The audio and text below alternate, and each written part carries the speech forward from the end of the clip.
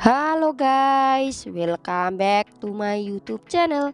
Video kali ini kita akan melihat cuplikan panggilan yang tayang hari ini 24 November 2022 episode 243 Sepertinya kali ini baik Mala dan juga Raja saling menceritakan panggilan-panggilan yang didapatkannya itu kepada sang kakek.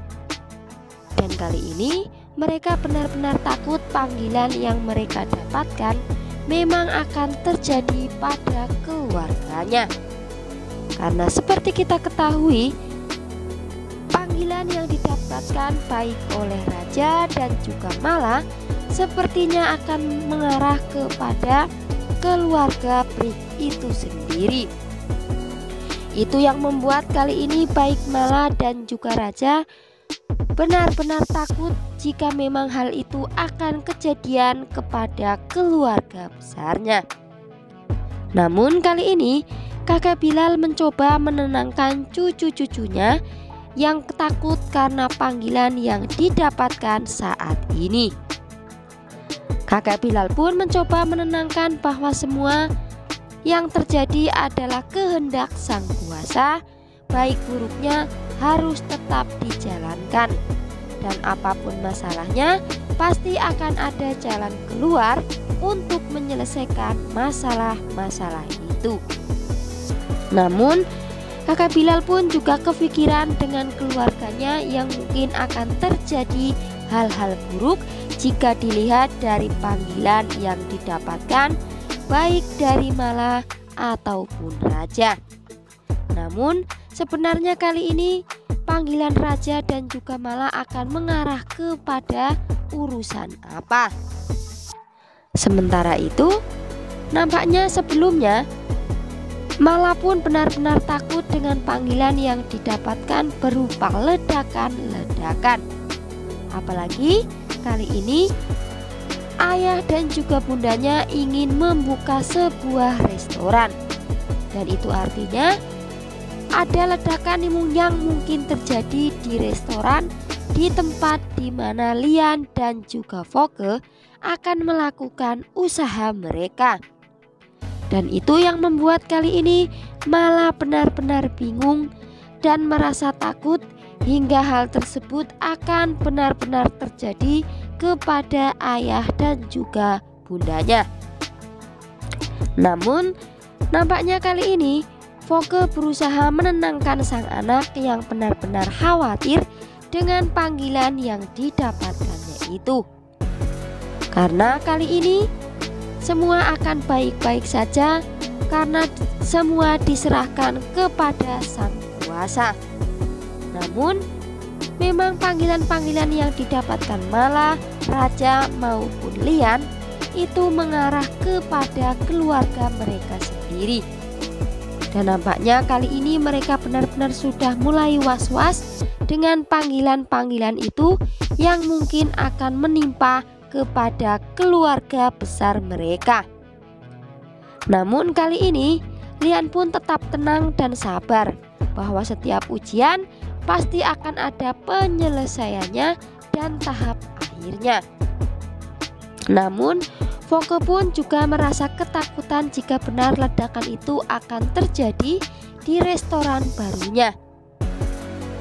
Dan itu tidak mau terjadi karena hal tersebut nantinya akan merugikan restoran Foke dan juga Lian yang baru akan dibuka. Semoga saja ya guys yang kita harapkan kali ini apa pun yang akan terjadi kepada keluarga Prik, keluarga Prik bisa mengantisipasi satu sama lain yang mungkin kejahatan akan datang.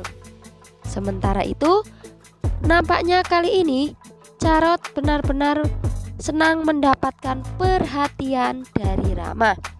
Dan di sisi lain, sepertinya Rama mulai luluh dengan hati polos Carot tersebut.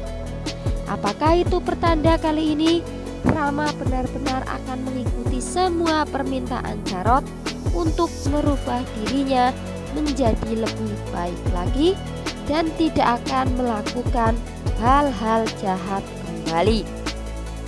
Apakah semua keinginan-keinginan Charlotte kali ini akan secepatnya terkabul seiring ternyata Rama mulai memiliki simpati kepada Charlotte.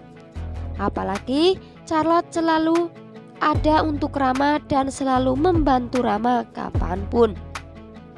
Wah, kira-kira apakah kali ini usaha yang dilakukan Charlotte untuk berusaha mengembalikan Rama menjadi orang baik akan secepatnya berhasil.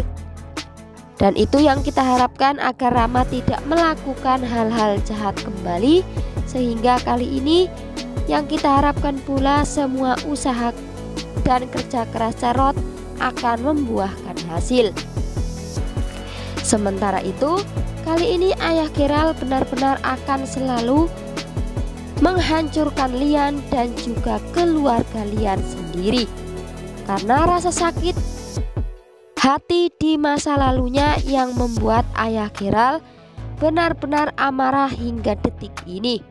Apalagi setelah tahu ternyata orang yang dicintainya dulu ternyata meninggalkannya hanya untuk menikah dengan Lian. Itu yang membuat kali ini Ayah Gerald benar-benar ingin berambisi untuk menghancurkan Lian dan juga seluruh keluarga besar Lian.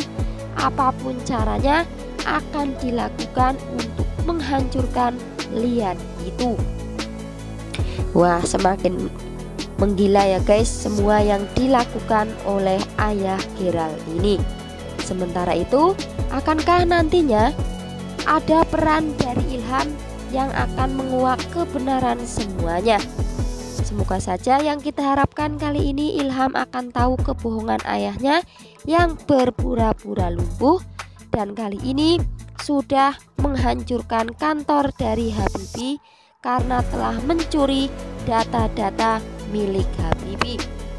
Akankah nanti Ilham akan tahu sendiri kebusukan-kebusukan yang dilakukan ayahnya kepada keluarga Malang? Dan kira-kira apakah nantinya setelah kejadian ini akan diketahui bahwa sumber kekacauan yang ada di keluarga Brik adalah ulah ayah Ilham ini? Kira-kira bagaimanakah hubungan Ilham dan juga Mala ke depannya?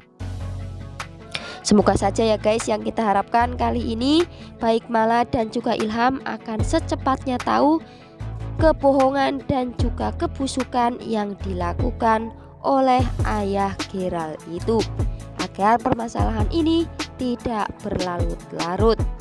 Makin penasaran ya guys dengan episode hari ini kira-kira akan seperti apa keseruannya? Jangan lupa saksikan terus panggilan setiap hari hanya di Indosiar. Terima kasih telah menyaksikan video ini dan sampai jumpa.